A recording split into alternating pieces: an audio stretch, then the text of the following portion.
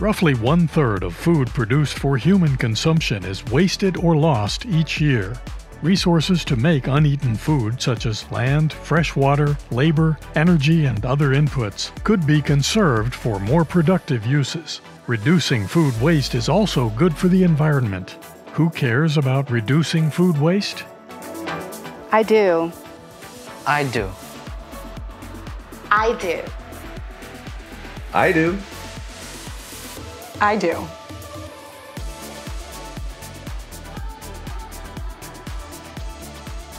I serve the right portions to my kids so we don't waste food.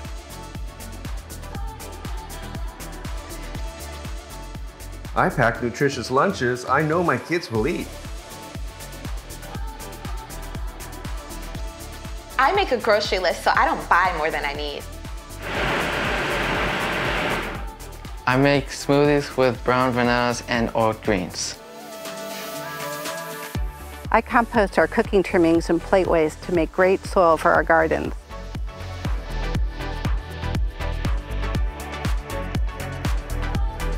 Do you care about reducing food waste? For more information on food waste and how to reduce it, visit www.usda.gov slash food loss and waste slash consumers.